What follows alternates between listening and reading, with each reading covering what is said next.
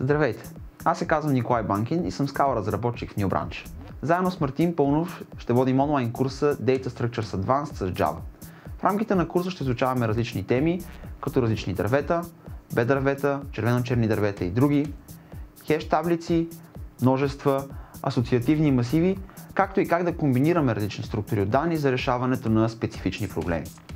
Курсът е подходящ както за начинаещи програмисти, които имат основни разбирания в линейните структури от данни, така и за по-напреднали програмисти, които искат да разширят своя кръгозор от как да съхраняваме и обработваме данните по различни начини. Ако искате да разберете повече за структурите от данни, очакваме ви.